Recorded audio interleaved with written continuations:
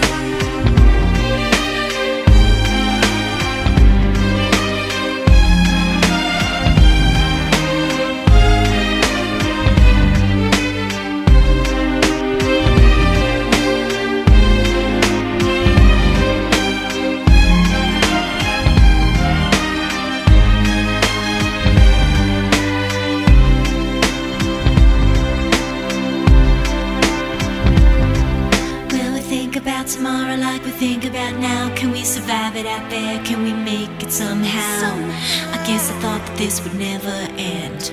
And suddenly it's like the women and men. Will the past be a shadow that will follow us round? Will these memories fade when I leave this town?